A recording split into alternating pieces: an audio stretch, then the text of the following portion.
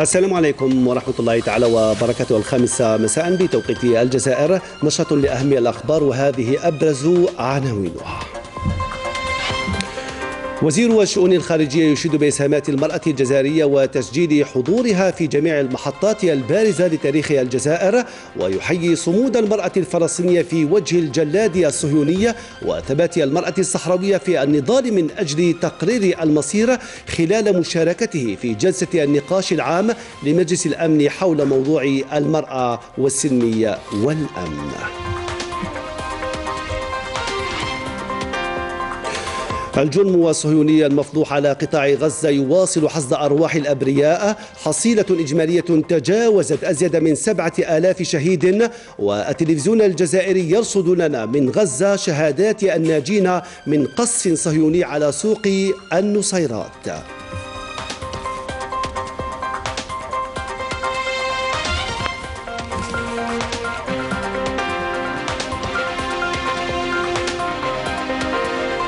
صالون الجزائر الدولي للكتاب فضاء رحب يتسع للقضية الفلسطينية وتوافد كبير على الجناح تضامنا مع الشعب الأعزال في محنته.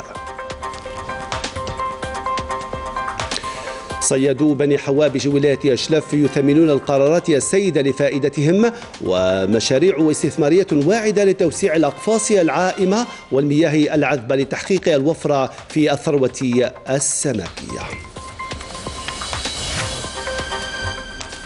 أهلا بكم مجددا.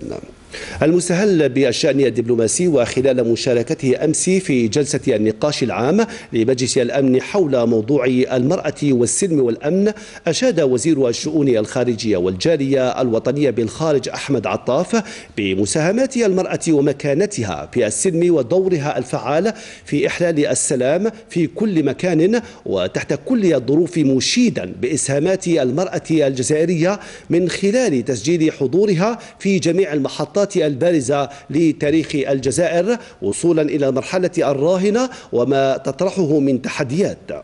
وبالمناسبة رافع عطاف من أجل القضيتين الفلسطينية والصحراوية حيث أشاد بصمود المرأة الفلسطينية في وجه الجلادة الصهيونية كما حي ثبات المرأة الصحراوية في النضال من أجل تقرير المصير في ظل التحديات التي تواجهها. تأكيدا لما جاء في كلمة الرئيس الجمهورية السيد عبد المجيد تبون خلال مشاركته في النقاش العام للدورة الحالية للجمعية العامة فقد اعتمدت بلادي شهر يوليو المنصرم خطة عمل وطنية بهدف تقديم مساهمتها في تحقيق مقاصد هذا القرار الأممي الرامي إلى تعزيز مكانة المرأة في السلم والأمن ودورها الفعال في إحلال السلام في كل مكان وفي جميع الأوقات وتحت كل الظروف. أوجه تحيه كبار وإجلال للنساء الفلسطينيات على صمودهن في وجه العدوان الغاشم للاحتلال الإسرائيلي على غطاء على قطاع غزة المحاصر وعلى جلادهن في وجه ما يحاك ضد القضية الفلسطينية. مثلما أحيي ثبات المرأة الصحراوية في الدفاع عن حق الشعب الصحراوي في تقرير المصير وفق ما وضعه مجلسنا هذا من قرارات ومراجع وضوابط. ثلاثة أسابيع كاملة تنقضي والقصف الهمجي الجائر متواصل ليلا ونهارا يستهدف الأبرياء العزل. وصرخة الغزاويين متواصلة لكنها لم تجد آذانا صاغية ولا مناصرا لقضيتها العادلة. أمام غياب الضمير الإنساني والفشل الأممي في استصدار قرار يوقف آلة الحرب الإجرامية الصهيونية.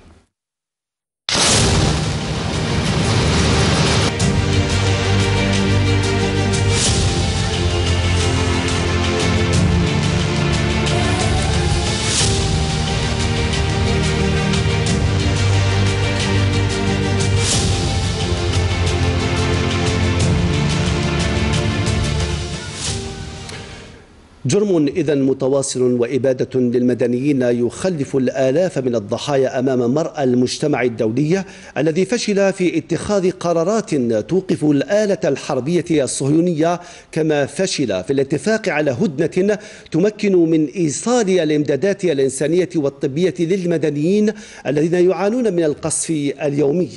قصف حصد لحد الآن أرواح الأبرياء من الأطفال والنساء وطال المستشفيات مما رفع من أعداد الضحايا الذي فاق سبعة آلاف شهيد وأكثر من تسعة عشر ألف مصاب. التفاصيل في سياق تقرير حفظ عبد الصدوق. غزة تحت القصف لليوم الواحد والعشرين على التوالي ولا أحد يبالي. فصوت الحق لم يعد مسموعا في أروقة الأمم المتحدة ومجلس الأمن الدولي. المئات من الضحايا سقطوا بين شهداء وجرحى في قصف عنيف ومكثف استهدف هذه الليلة خان يونس جنوب القطاع كل بيوت كل الدمار أنا بيتي أربع عوضي على الله. كيف نجيته كيف نجيته؟ ما بعرف كيف. رجعت اطلع نص الناس مصابين. ما بعرف إذا في حد مات إذا في حد مات ما بعرف. سويت مش عارفه إيش بس وزارة الصحة الفلسطينية نشرت قائمة بأسماء الشهداء الذين فاق عددهم الآلاف لترد على واشنطن التي ذهبت بعيدا في تواطؤها الصريح مع الاحتلال الصهيوني مكذبة الإحصاءات الفلسطينية بشأن حصيلة العدوان الصهيوني الغاشم. سيتم الإعلان عن الأسماء في كل المواقع التي سترسل إليها الأسماء بالتفصيل وسيكون كشف مفصل لإجمالي الشهداء بإجمالي الأسماء وأرقام هوياتهم وأيضا إجمالي الش- الشهداء من الأطفال بكشف كامل يوضح أسماء الأطفال الذين تم تسجيلهم في وزارة الصحة كما قلنا دون أي مغالطة يستند ويتكئ عليها هذا المحتل الحصيلة ثقيلة ثقل آلاف الشهداء وآلاف الجرحى وتبقى تقريبية بالنظر إلى مئات المفقودين العالقين تحت ركام المنازل. المستشفيات غصت بالجرحى والشهداء وحتى النازحين والملاجئ فاقت قدرتها الاستيعابية ما استدعى ببرنامج الأغذية العالمي إلى القلق من تزايد معدلات الجوع وسط الفلسطينيين وانهيار الخدمات الأساسية مطالبا بضرورة إدخال المساعدات دون قيود. المشكلة ال- الأخرى التي نعاني منها والتي ستهدد حياة مئات المرضى في أقسام العناية وهي نقص الوقود مما يؤثر سلبا على توفير الكهرباء مما يضطرنا إلى فصل الأجهزة التنفس الصناعي عن أغلب المرضى الموجودين في أقسام العناية. وبينما أعين العالم منصبة على ما يحدث في غزة استفردت قوات الاحتلال الصهيوني بالفلسطينيين في الضفة والقدس المحتلتين في محاولة لفرض استيطان جديد عبر الاقتحام والاعتقال والتطويق والاشتباكات. خلفت اليوم شهداء وجرحى في جنين. فيما بعث المستوطنون الصهاينة منشورات يهددون فيها الفلسطينيين بالخروج من منازلهم أو التعرض للقتل والتهجير. ورغم تواطؤ القوى العظمى والتعتيم الإعلامي الغربي على حقيقة ما يجري من مجازر وتطهير عرقي في حق الشعب الفلسطيني تتعالى الأصوات في عواصم العالم يوميا دعما لفلسطين وقضيتها العادلة فلا صوت يعلو فوق صوت الحق.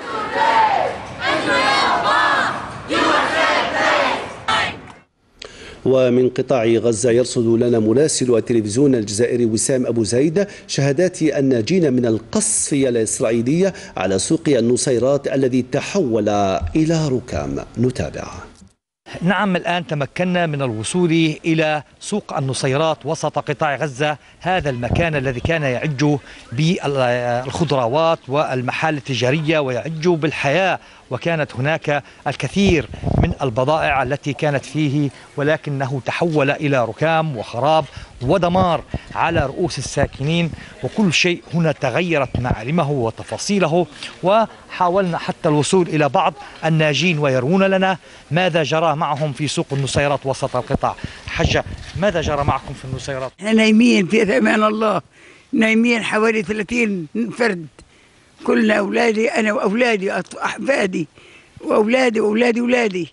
والحمد لله كلنا نايمين في أمان الله. فقمنا فزعين مفزوعين من صوت الصواريخ. ونحن لا نعلم إن هذا صاروخ ولا هذا برميل. هذا مش صواريخ هذا براميل نزل عروسنا براميل صوت انفجار كبير كبير هز المكان. طبعا ما بتشوفش ولا أي حاجة. كلها كانت غبرة غبرة.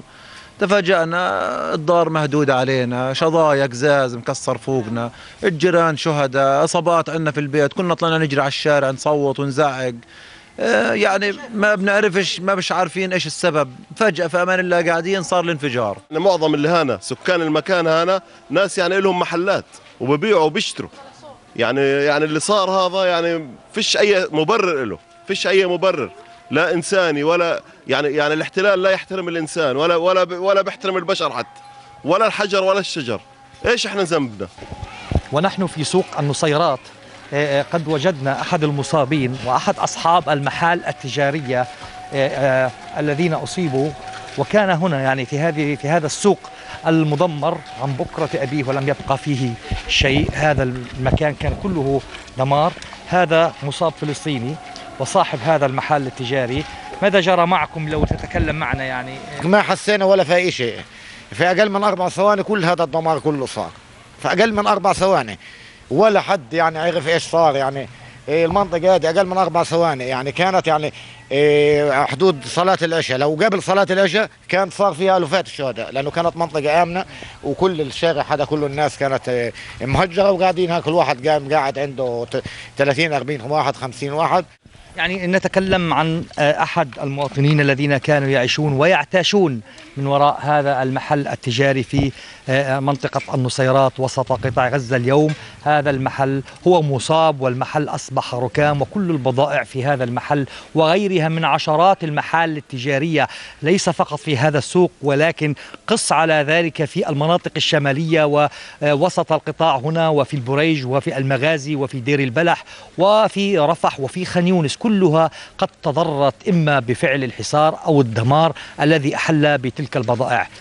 وسام أبو زيد التلفزيون الجزائري فلسطين.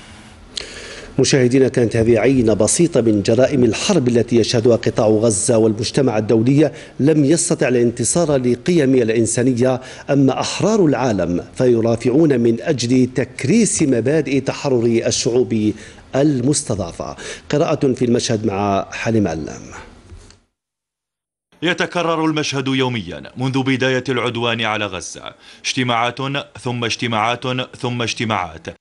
والنتيجة العودة بخفي حنين. هكذا يبدو المشهد في مبنى الأمم المتحدة في نيويورك بعد كل جلسة يعقدها مجلس الأمن لبحث التطورات في غزة. المشهد الميداني بدوره لم يتغير كثيرا. قصف وقتل وتهجير وحرب إبادة ممنهجة يقودها الاحتلال الصهيوني في حق الفلسطينيين وسط دعم غربي غير مشروط أحيانا ورفض محتشم لمجازر ضد المدنيين الفلسطينيين أحيانا أخرى. الصفعة التي تلقاها الكيان الصهيوني يوم السابع أكتوبر الماضي يبدو أنها أربكة الغرب أيضا الذي يؤكد علانية تأييده لحرب الإبادة على غزة من جهة ويروج من جهة أخرى لمساعيه الرامية لوقف العدوان. تخبط في المواقف والخطابات ترجمه عجز مجلس الأمن الدولي على تبني أي قرار لوقف الحرب أو على الأقل الاتفاق على هدنة إنسانية مؤقتة. ها هو الأمين العام للأمم المتحدة أنطونيو غوتيريش ينتقد علانية الاحتلال الصهيوني وسياساته الاستيطانية ويؤكد أن هجوم حماس لم ياتي من فراغ. تصريح غوتيريش قض مضجع المسؤولين الصهاينة الذين طالبوا باستقالته مؤكدين أن المسؤول الأممي يعيش في عالم آخر. هؤلاء هم الذين يعيشون في عالم آخر.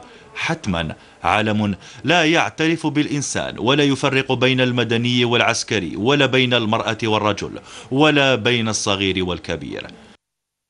صور وتصريحات الأسيرات المفرج عنهن مؤخرا والمشيدة بتعامل عناصر المقاومة مع الأسرى خلفت ردود فعل غاضبة داخليا وزادت الانقسام الذي يتعمق يوما بعد آخر في كيان مرتبك. كان يعيش أصلا توترات سياسية واجتماعية حتى قبل السابع أكتوبر. تخبط عززه فشل الآلة الإعلامية العبرية والغربية في تسويق الرواية الصهيونية خارجيا وتعتيم الحقائق. عشرات المسيرات المتعاطفة مع غزة جابت كل أرجاء العالم مؤكدة أن حبل الكذب قصير وإن كان من صناعة غربية.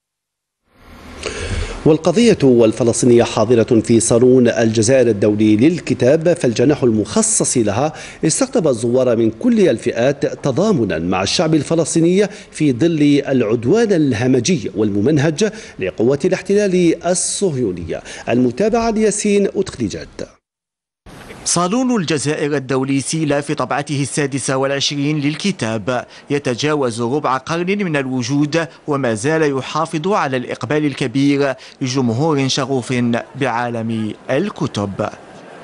صرح علمي ما شاء الله. يعني مفخرة كبيرة للجزائر تنوع كبير. أما فيما يخص فلسطين فنحن مع فلسطين ظالمة أو مظلومة. عجبني ياسر الله يبارك في كتب متنوعة. غزة وما تتعرض له من إبادة وهمجية. أثارت الاهتمام لجناح فلسطين في فعاليات هذا الصالون الذي أعطى جانبا هاما للقضية الفلسطينية. المعرض هذه السنة كان ما شاء الله متنوع فيه دور نشر كثيرة من بلدان مختلفة. سواء العربية وكذلك الدول الأجنبية. معرض جد مغري وما يميز المعرض في هذا العام الجناح الجناح الفلسطيني. لفت انتباهنا يعني وجود جناح بالنسبة لفلسطين طبعا هذا يبين باللي يعني رانا ندعم القضية الفلسطينية. صالون الجزائر الدولي للكتاب لهذا العام ثري وغني من حيث نوعية وكمية الكتب والفرصة أمام الجمهور لتلبية حاجاته الفكرية والعلمية. في موضوع آخر وضمن استراتيجية الدولة لرقمنة قطاع التعليم العالي والبحث العلمي تم استحداث تطبيق جديد من طرف المدرسة الوطنية للعليا للذكاء الاصطناعي بالعاصمة واسم label التطبيق الأول منذ إنشاء المدرسة من شأنه تطوير عدة قطاعات اقتصادية وتقنية بالجزائر. أسيا غريب. خممنا وشي هما les problèmes اللي يواجههم التلميذ وشي هما الصعوبات المشاكل اللي يفوت عليهم. منها جات فكرة منصة كوستي كوستي هي منصة إلكترونية يقدروا يدخلوا كاين منتدى وين يطرحوا الأسئلة تاعهم ويجاوبوا يجاوبوا أسئلة واحد أخرين ويجاوبوهم جميع الولايات. محمد منصف ويزيد طالبان متفوقان في شهادة البكالوريا. التحقا بالمدرسة الوطنية العليا للذكاء الاصطناعي بالقطب التكنولوجي لسيدي عبد الله منذ عامين. يزداد شغفهما بعالم الرياضيات الاحتمالات والبرمجيات يوما بعد يوم. إلى غاية استحداث منصة رقمية تمكن طلاب البكالوريا من تحصيل علمي جيد. استعمال المنصة سهل تدخل جوستو بوانات تلقى كلش تلقى المنتدى والمصادر والدروس خصوصية. منتدى ومصادر راهم مجانيين كاين تاني دروس خصوصية عبر الإنترنت يعني عبر محاضرة من انت راك من دارك والأستاذ راه من داره بصح راكم عبر محاضرة وين تقدروا تقروا مع بعض عن بعد. والمبلغ تاع الدروس الخصوصية مبلغ منافس. التطبيق متاح لجميع المقبلين على اجتياز شهادة البكالوريا. يكفي فقط تحميله على متاجر التطبيقات الرسمية للهواتف الذكية كالأندرويد وغيرها. أهم الأفكار اللي راح تعاون آه، تلميذ بكالوريا في المنصة تاعنا هي حتنقص عليه التشتيت. يدخل عندنا في المنصة يلقى كل شيء بلاصة واحدة إنه بطبيعة الحال أنا إحنا طلبة ذكاء اصطناعي لازم يكون عندها يعني اللمسة تاعنا في التطبيق. لقاو محيط يساهم على الابتكار ها والمقاولتيه فهذا الوسم هذا كي نعطيو له وسم لابل نعطيو له يعني اللي نعطينا له آه، وسم تاع نوعية. تسمى مشروع ذو نوعية وذو قابلية أنه يعني يتطور أكثر ويكون عنده قبول أكثر. اعتماد الذكاء الاصطناعي في الجزائر أصبح أكثر من ضرورة. في ظل التطور السريع الذي يشهده مجال الروبوتات في العالم. مجال أولت له الدولة عناية خاصة في سبيل تنمية روح المقاولاتية تشجيع المهارات الفردية وتوجيهها لخدمة قطاعات استراتيجية مستقبلا.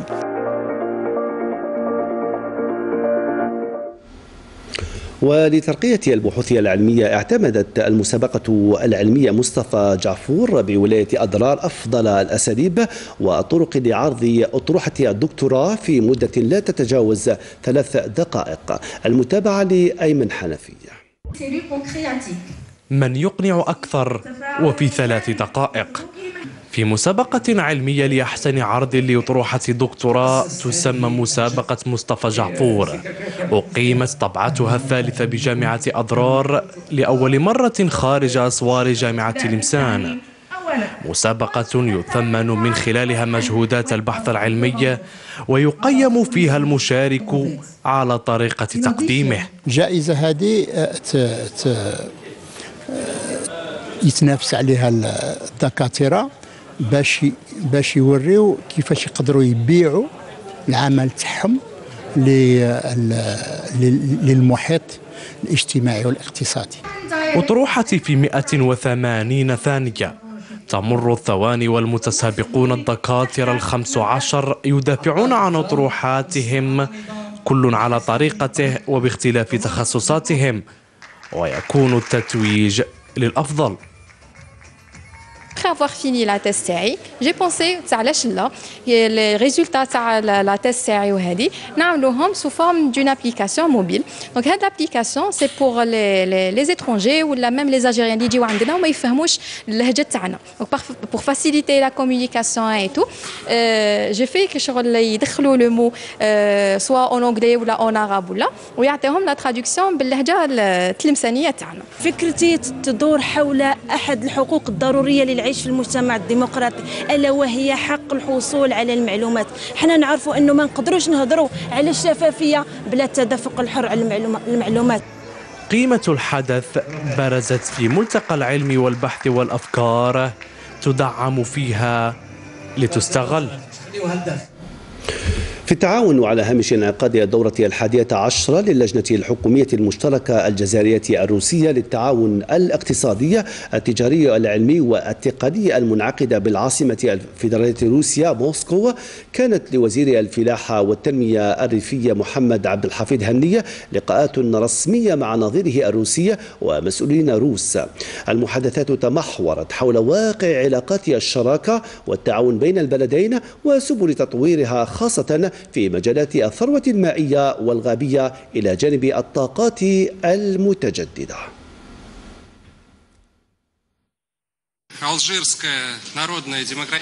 إن الجزائر كانت ولا تزال شريكا هاما بالنسبة لروسيا الاتحادية في منطقة شمال إفريقيا. في الكثير من المجالات كالطاقة والصناعة ومجال البناء والتعليم والزراعة. وهذا كل ما تضبطه الأرقام التي نراها والتي تخص التنمية الديناميكية والتجارة الثنائية بين البلدين. حيث تحتل الجزائر المركز الثالث في القارة الإفريقية من حيث التبادل التجاري مع روسيا. إن العدد الكبير للممثلي القطاعات الوزارية والهيئات الوطنية الجزائرية له دلالة على الأهمية القصوى التي التي توليها الجزائر بقيادة الرئيس الجمهورية السيد عبد المجيد تبون لتعزيز التعاون مع فيدرالية روسيا في شتى المجالات بما يعود بالنفع المتبادل على البلدين والشعبين الصديقين. ويعد يعد الأمن والغذاء أولوية من أولويات الدولة من خلال مرافقة المستثمرين ودعمهم. ولاية بسكرة بمقوماتها الفلاحية والصناعية تسعى إلى ولوج مختلف الأسواق العالمية وتحقيق عائدات من العملة الصعبة على غرار تصدير شحنات متتالية من مادة الكلينكر إلى العديد من الدول الإفريقية. الروبورتاج دي يونس الديب. مستثمرات فلاحية نموذجية بولاية بسكرة. اعتمدت الطرق العلمية في الزراعة لتحسين الإنتاج وتنويعه فدخلت الأسواق الأوروبية بمنتجات متنوعة وذات جودة. ال rendement تاعنا آه، وصل للمقاييس الأوروبية آه، la qualité نفسها والحمد لله آه، رانا مشينا للأسواق الخارجية. وكان طلب كبير على المنتوج الجزائري وخاصة المنتوج تاع المنطقة تاع بسكرة. ولاية بسكرة التي تنتج من التمور أجودها خاصة دقلة نور بوسمها العابر للحدود. تحقق هي الأخرى مداخيلا تزيد عن 250 مليون دولار وهي اليوم تسعى إلى زيادة هذا الرقم. قدرات ما بين 3000 و 5000 طن على حساب الغلة اللي كاينة. نصدروا في أكثر من 30 دولة في خمس قارات. تنوع واختلاف المنتجات الصناعية بولاية بسكرة جعل منها قطبا صناعيا واعدا وهذه شحنة من الكلينكر للوصول إلى تصدير مليون طن خلال عشرة أشهر. اليوم فخورين جدا لهذا آه، اليوم لتصدير مليون طن في عشر شهور من شركتنا للأسمنت. وإن شاء الله آه، نخلصوا السنة إن شاء الله بمليون و200 أو مليون و300 ألف طن. نريد أن نخرج من عقدة التصدير فقط للمحروقات. نريد أن نبرهن كذلك بأننا قادرين. أننا مش فقط آه، نبلغ 13 مليار اللي طلبها السيد رئيس الجمهورية لكن نتجاوزها برغم الإمكانيات وبوجود الإمكانيات المتوجده موجودة في الجزائر في صحرائها في جنوبها في في شمالها في بحارها في جبالها كلها تزخر بالإمكانيات اللي تمكننا باش أننا نبلغ أهداف أكثر للهدف المسطر هو 2030 باش نلحق إن شاء الله 30 مليار دولار. مقومات صناعية وفلاحية هامة بالولاية تفتح شهية المصدرين وتخلق يخلق مصدرا للعملة الصعبة. ولأن الفلاحة دعامة والاقتصاد الوطني عرض المشاركون في الطبعة الثانية للصالون الوطني للمنتوجات الفلاحية والصناعات الغذائية بولاية قسنطينة منتوجاتهم المتنوعة التي تسهم في تلبية السوق الوطنية. سعيد بلعز التقنيات الجديدة في مجال الاستثمار الفلاحي والصناعات الغذائية باتت ضرورة ملحة للنهوض بالاقتصاد الوطني. وذلك نظرا لأهمية هذه المؤسسات في الاقتصاد الوطني في خلق الثروة في خلق مناصب شغل وكذلك لماذا لما لا توجيه هذه المنتجات إلى التصدير. لهذا الغرض قسنطينة تحتضن الطبعة الثانية للصالون الدولي للفلاحة والصناعات الغذائية. الصالون هو فرصة لالتقاء المتعاملين لإنتاج أفكار جديدة للدفع بعجلة التنمية في هذه القطاعات الحيوية اللي عندها علاقة مباشرة بالأمن الغذائي في الجزائر. ولاحظنا باللي فيه منتوجات عديدة. أصبحت تنتج على مستوى الجزائر وهذا في إطار تقليص فاتورة الاستيراد وكذلك تشجيع الفلاح. من أجل أولا خلق مناصب الشغل وكذلك خلق الثروة. فعاليات الصالون في نسخته الثانية حملت الجديد فيما يتعلق بتطوير تقنيات الإنتاج في ميادين عدة. الدودة الحمراء هذيك نربيوها بعد تعطينا مادة أولية المادة الأولية هذيك نصنعوا منها آه، أسمدة سائلة طبيعية. البرودوي تاعنا هذا واسمه روبي بيسول يرجع الحيوية تاع التراب ويغذي النبتة. الدراجات النارية ذو ثلاث عجلات. ال VM 12 جابت إضافة كبيرة وتسهل على الفلاحين في النقل السلع تاعهم. ومنطقة بوحمامة هي المنطقة الأولى في إنتاج تفاح وطنيا معدل فوق المليون قنطار سنويا. قمنا بشراكة مع متعامل بولندي في إنشاء البساتين الحديثة. لا سيما كنا نغرسوا بكري 400 500 شجرة في الهكتار. اليوم رانا نغرسوا حتى 3000 شجرة في الهكتار. فبتعداد 157 عارض و40 شركة مشاركة في الصالون يهدف القائمون إلى فتح آفاق واسعة للاستثمار الفلاحي.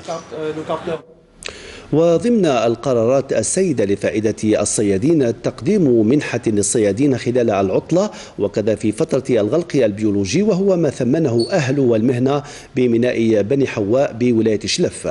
القطاع شهد أيضا مشاريع استثمارية واعدة بالولاية خاصة بعد توسيع نشاط الصيد البحري عبر الأقفاص العائمة والمياه العذبة تقول كريم الشمط. تثمينا للموارد الصيدية والرفع من قدرات الإنتاج البحرية بولاية شلف. مشاريع استثمارية واعدة. فتح لها باب رفع العراقيل ولوج غمار منافسة الأسواق المحلية على غرار مشروع تربية القاجوج الملكي وذئب البحر بابن حواء الذي رفع رهان الإنتاج إلى ثلاثة آلاف طن آفاق 2024 بعد رفع عدد الأقفاص من 32 قفصا إلى أربعين والتحدي قائم بإنشاء أول وحدة بالجزائر لإنتاج صغار الأسماك بما يسمح باكتفاء محلي وطني يكفله تأطير للعمال. أبناء المنطقة الحمد لله راه يدير الخدامة أنا ظرفت على العام الحمد لله. الخدمة كل واحد كيفاه كاين اللي عنده عام كاين عامين كاين ست سنين كاين غير كيما بدا. حاليا عندنا 32 قفص كلها قيد الاستغلال. بقدرات إنتاجية فوق ال 2000 طن في محيط الميناء. رانا نضيفوا في ثمانية أقفاص. هذا نوفمبر 2023 تم. ومن تربية الأسماك في الأقفاص العائمة بالبحر إلى تربيتها بالمياه العذبة واستغلال أحواض السقي الفلاحي في تربية السمك البلطي الأحمر. يرسم توجه الدولة لرفع إنتاج شعبة تربية المائيات دعما ومرافقة. وهو ما جسد مشروعا ناجحا بطاقة إنتاج تصل إلى 25 طنا. نسبة الإنتاج 50 طن في سنة. دولتنا الدولة دعم عن طريق وكالة نراد وبرؤية استشرافية تضمن حقوق مهنيي القطاع تحسين للظروف الاجتماعية عبر لقاءات مباشرة مفاعلة لقرارات الدولة. شوية الظروف حنا شوية إحنا بحرية ما قليلة قليلة قوي. خصنا ليستونسيون في البور ومع الماتريال القوى ثاني كذلك هو عندنا إشكال كبير في الكازوره أنا واحد من الناس. بيناليتي 2013 2014 أنا اجور درك الدولة ما تسوى 160 مليون لا داس اون با بيزوان داس حنا حنا عندنا لو رونوفي دو نافيغاسيون يشوف فقير اليوم يصور غدوه ما يصور ريتريتي قاش قرار السيد رئيس الجمهوريه لتعيين أو يعني منحه للصيادين اللي حيقيس حوالي 40 ألف صياد. يعني كل الصيادين اللي داخلين في يعني في الضمان الاجتماعي يعني راهم في الضمان الاجتماعي راح يستفادوا من هذه المنحة الشهرية لمدة ثلاث أشهر اللي تتزامن مع الغلق البيولوجي. وفي نفس الوقت قضية سوء الأحوال الجوية. تعلمون أن كي يكون سوء الأحوال الجوية الصياد ما عنده حتى مدخول. الحمد لله الآن بهذا القرار. وتقريبا هو قرار بالنسبة لنا تاريخي لأن ومتميز باقي الدول. عندنا 23 دولة على مستوى البحر الأبيض المتوسط. الدولة الوحيدة اللي قامت بهذه المبادره بقرار من السيدة الجمهورية هي الجزائر.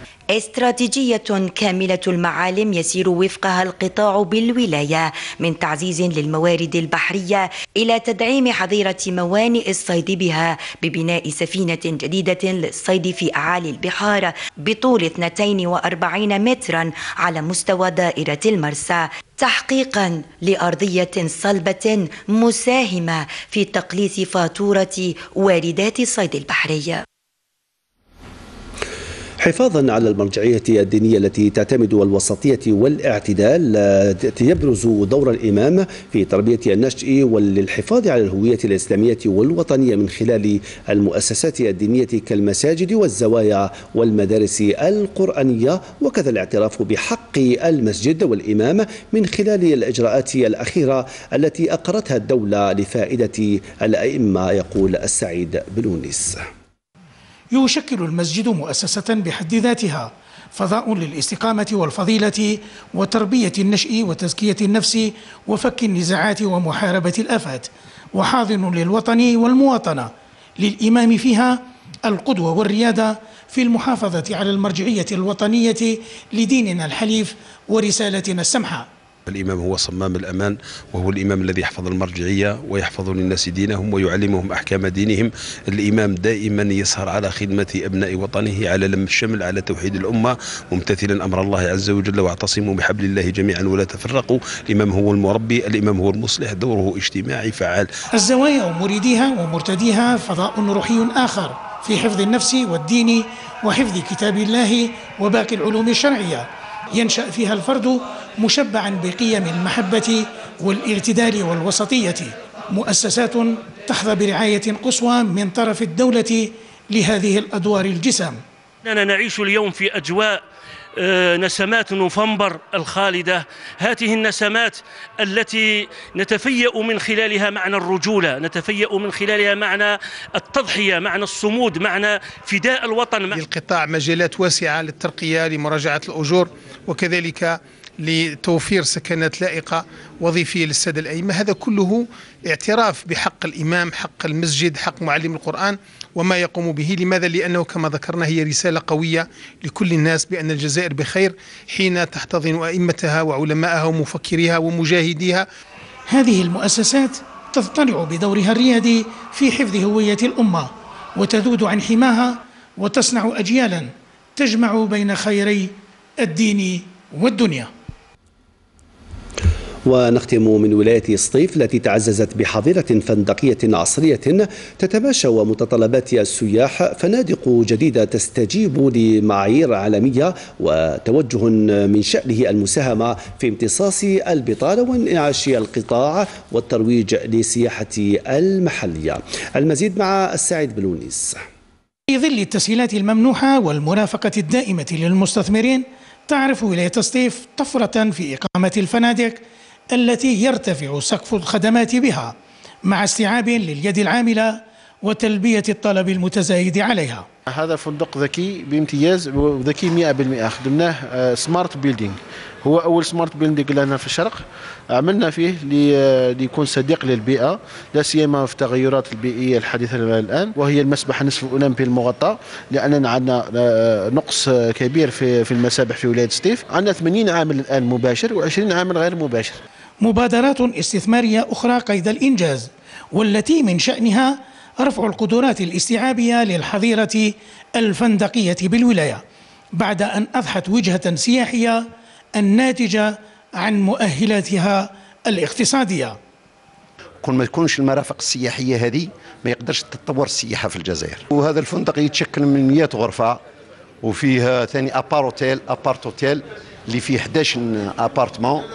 يعني فيه جميع المرافق السياحية. فيه حتى ذوي الاحتياجات الخاصة درنا لهم غرف خاصة بهم. هناك 90 وحدة فندقية في في ولاية سطيف ذات 6000 أو 7000 يعني آه، طاقة سرير. وأيضا هناك 45 مشروع مشروع آه، فندق فندق في في في طور في طور الإنجاز.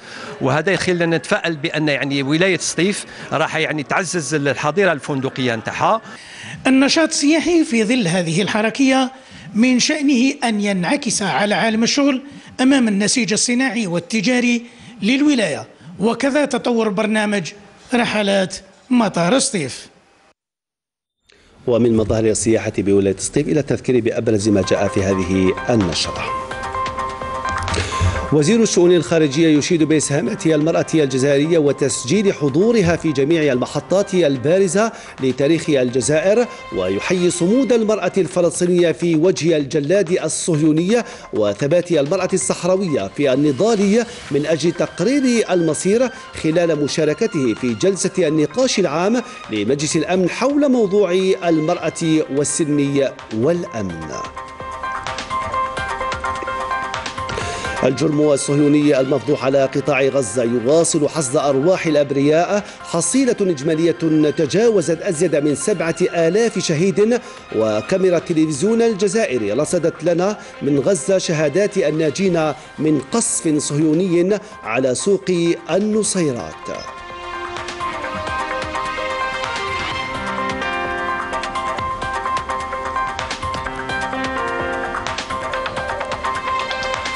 صالون الجزائر الدولي للكتاب فضاء رحب يتسع للقضية الفلسطينية وتوافد كبير على الجناح الفلسطيني تضامنا مع الشعب الأعزل في محنته.